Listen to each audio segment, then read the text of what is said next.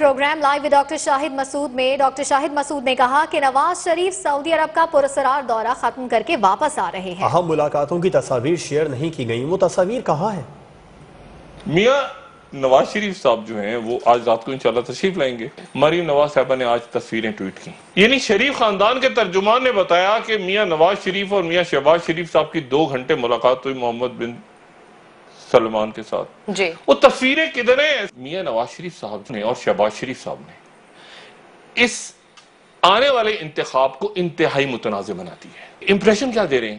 کہ الیکشن تو ہوتے رہیں گے سعودی عرب نے شہباز شریف کو وزیر اعظم بنا کے مان لیا ہے۔ امپریشن یہ دے رہے ہیں۔ اور دبائی تو پھر الیکشن کیوں کروانا ہے؟ اگر یہ حقیقت جیت بھی رہے ہوں گے تو بھی لوگ کہیں گے کہ بھائی ایک منٹ یہ تو آپ نے پہلے ہی طے کر لیا تھا معاملہ۔